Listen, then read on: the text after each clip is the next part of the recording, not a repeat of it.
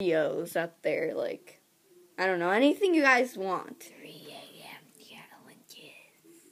Maybe not those, because those are just too hard. Yes. Yeah. But anything else that you want us to do, we can definitely do. But 3 a.m. challenges, unacceptable. And unacceptable. Unacceptable. Because we are Christians, apostolic, right?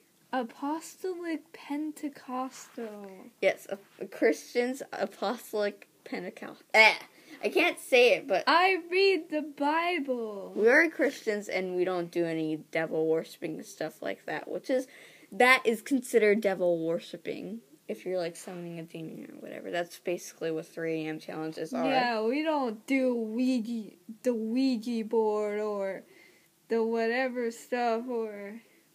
But anyways, that's it for today. We hope you guys liked. Oh wow, we hope you guys liked Like this, this video. video. Please like, Like, subscribe, put, put good, good comments in the comment section below, below. and don't, forget, have, a good, day And don't forget to pray. full of darkness and sadness that summer is over. Happiness and pray.